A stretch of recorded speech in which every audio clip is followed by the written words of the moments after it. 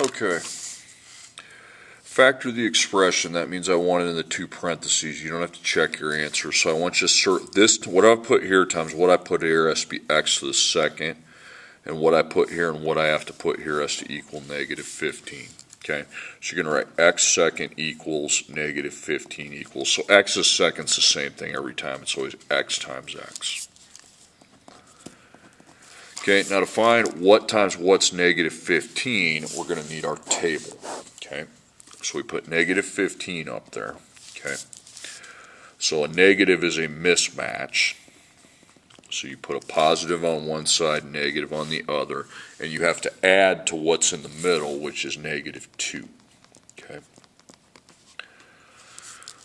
That's where we get that. So I put divided by 1. So 15 divided by 1 is 15. Okay, then I add those two together. 1 plus negative 15 is negative 14. Now I take 15 divided by 2. I got a decimal on that one, so 2. If you get a decimal, just put it down and cross it out. Then 3. 15 divided by 3 is 5, so I put 3, 5. Now I add those two together then. And I have negative 2, I have negative 2, so we're good. Okay, so circle that. So you put positive 3, negative 5, and that's your answer. Okay. Okay, then here, x second and 30. So x the second is x times x, and then 30 equals, we don't know. Okay, so that's a times dot. So it's going to be x, x.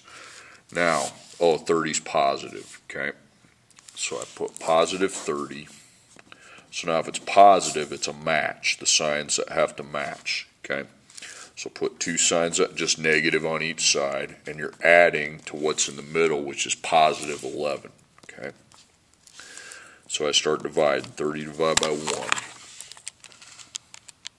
is 30. So I add negative 1 plus negative 30. That's negative 31. That's not what I'm looking for. Okay, then I put 2 down. 30 divided by 2 is 15, so I put 2 and 15 down.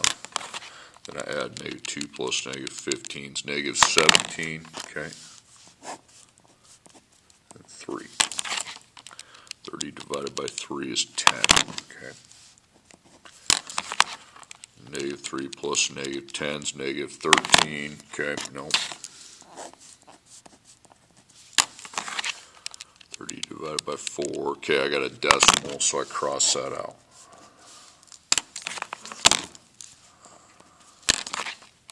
Thirty divided by five is six. Okay. Then I add negative five plus negative six. Okay, I have eleven, so I stop dividing. I just have to make it positive eleven.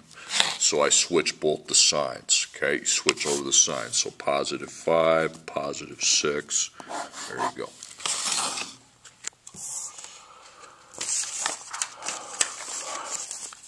Okay, next problem. x to the second power, the 2 power minus 7x plus 12. So we got x to the 2 power and 12.